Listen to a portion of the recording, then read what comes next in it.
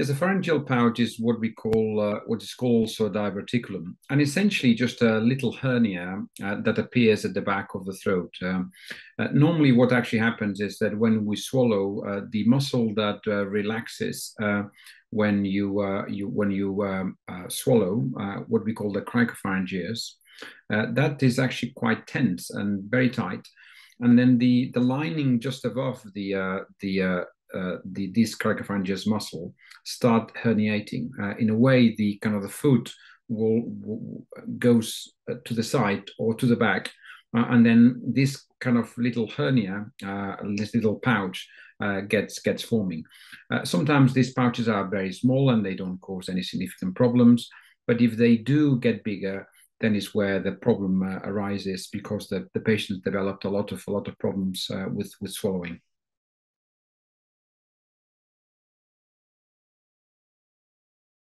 So the the pharyngeal pouch is diagnosed um, primarily clinically. Um, so obviously the patients will come to to an ENT specialist primarily because they will have problems swallowing. Uh, they one of the main thing that they will happen is that uh, uh, especially if the pouches are big, is that they will regurgitate food. So the food goes into the uh, into the pouch, uh, and then it just comes back into into the mouth, and that's a little bit like uh, like cows, like ruminants do uh, when they regurgitate, um, you know, the, uh, the, the actual food, and and so that is you know one of one of the main problems. Uh, they, they may lose weight. Uh, they may choke when they do um, uh, eat, especially if they, they do have uh, you know big pieces of, uh, for instance, meat or food.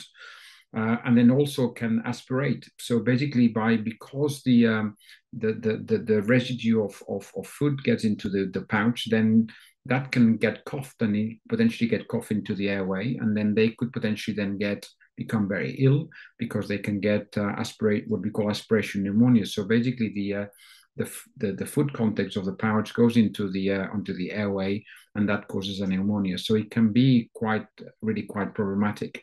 Once we do have the clinical suspicion of that, then we normally do a fiber optic uh, laryngoscopy. Uh, so we put a telescope in, into the nose and into the throat.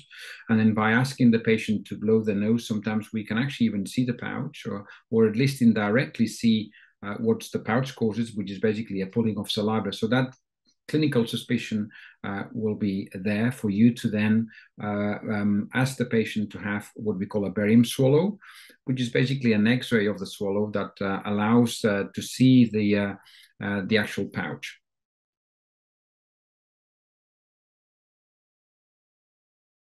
So as I said in the uh, in the original description, uh, so uh, depending a little bit on the pouch, obviously the pouch is not something that uh, happens straight away. It's something that happens over years, um, and then the patients they they may have a uh, a number of kind of potential predisposing factors. There may be a, a, a sometimes a very kind of high uh, uh, tone of the cricopharyngeal muscle.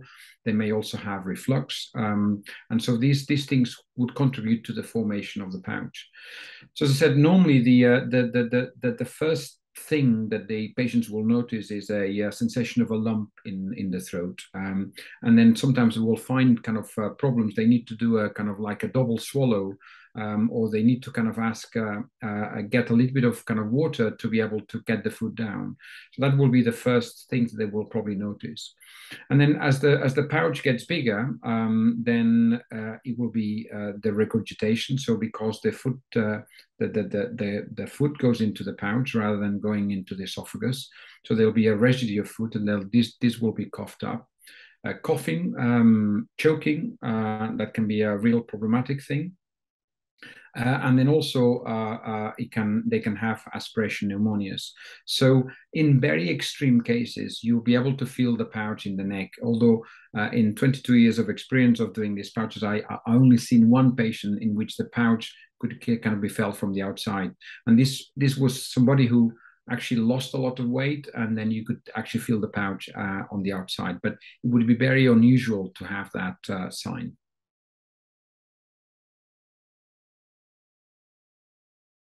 Yes, um, absolutely. Uh, because um, one of the problems is that patients uh, will um, they were not able to eat uh, properly, and then they will lose weight. Uh, they'll become emaciated, um, and they they will become weak. Uh, and also, as I said, the, the one of the potential kind of uh, end potential complications of having pharyngeal pouch is that you will potentially kind of end up having recurrent aspiration pneumonias. And that can be very dangerous and that could potentially kill the patient. And these patients are normally, they're not kind of often very young patients. Normally the pharyngeal pouches uh, um, uh, start kind of uh, uh, appearing um, after the age of 50. And then sometimes even um, uh, elderly patients can be uh, really at risk of, of, of, of dying from, from, from this condition.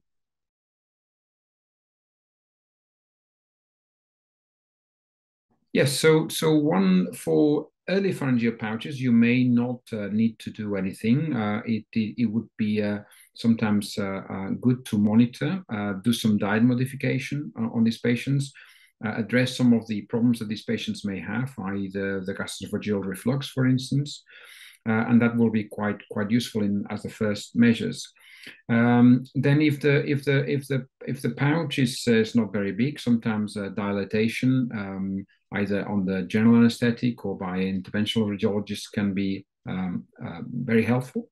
Uh, but if the pharyngeal pouch is established, uh, then the only kind of solution would be to to recur to surgery.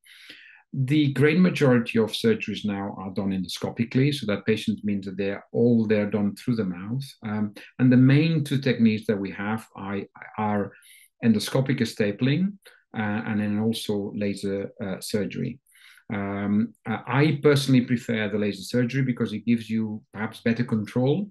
In uh, the uh, the problem with the uh, the the the uh, uh, the stapling is that it's very binary. So once the stapling is done, that's it.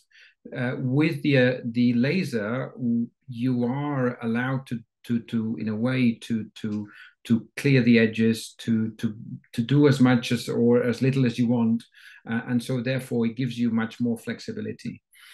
Having failed that, uh, then you've got a number of kind of uh, external approaches, which sometimes can be necessary uh, partly because sometimes it's not we're not able to pass the endoscopes through the mouth because patients may have either they're not being able to extend the neck or may they have prominent teeth or may they have very narrow jaws uh, and then you may not be able to then put the uh, telescope down the throat in order to be able to apply either the uh, stapling gun or the laser. Uh, and then in those patients, uh, then it's, it's required to do it from the outside. And there's a number of techniques depending again of the of the size of the pouch. Um, uh, and then but the most common uh, technique is the excision of the pouch. Uh, it is also very important that we when we do um, address the pouch we do address the cricopharyngeus which is the muscle that is very very tight and doesn't allow to relax the upper part of the esophagus and allow the food down. So it is important that we do at the time of any operation, we do what we call a cricopharyngeal myotomy, which is basically cutting the muscle and releasing the tension of that muscle so the food can go down without any problems.